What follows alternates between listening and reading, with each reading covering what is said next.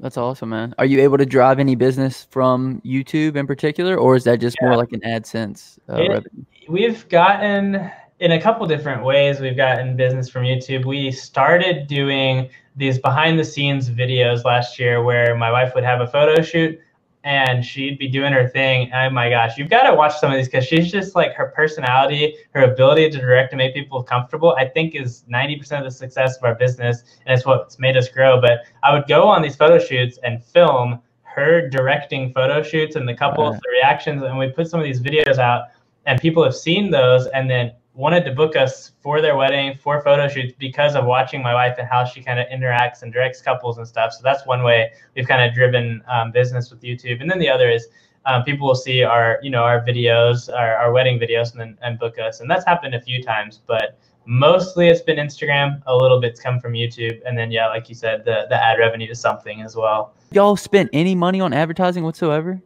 I think the, first year we started, I think we spent maybe 20 bucks on Facebook and it didn't do much. Like, that's it. Like, we've been really lucky. There's also, like, if you get into this wedding sphere, there's four or five big websites that brides will kind of go to in search of kind of directories for photographers and caterers and that kind of thing. And a lot right. of people, like, we know photographers who will pay thousands a year to be on those and to be featured on those.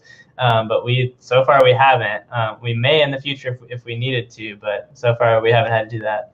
Dude, that is so crazy. So yeah. like very like organic. I mean, because anytime you start a business, I mean, you have to like have to like factor in advertising, but you guys have organically gotten yeah. all your business. Well, um, actually, I had a friend I was talking to a few weeks ago, and he pointed something interesting out that I hadn't really noticed, and that was we've paid for advertising, but we've paid with our time and our effort because right. what we do is we create like visual advertising for ourselves through you know our products, our photos and videos. So even though we haven't put monetary uh, like put money behind it, we put our time and our energy into it. Yeah, yeah. Uh, so I do kind of like a similar thing. So I record all my jobs, I put them on YouTube, but I also yeah. cut them down to a length where they're palatable on yes. Facebook as well. Yeah.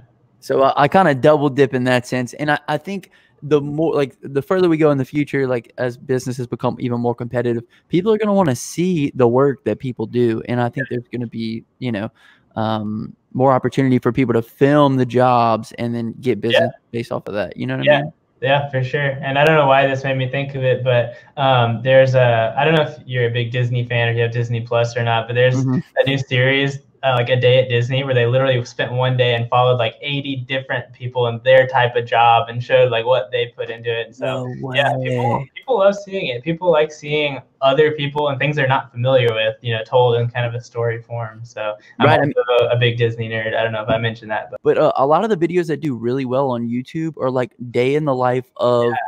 X that people have never seen. Like I saw a UPS yep. driver that got a million views. Crazy. Uh, yeah, even like uh, when people started recording themselves doing their vending businesses, they yeah. like I cover a lot of those people, so cool. they blew up because no one knew what it was like, you know. Yeah. Thanks so much for watching the video. If you enjoyed it, give it a like for me, and also leave me something down in the comment section.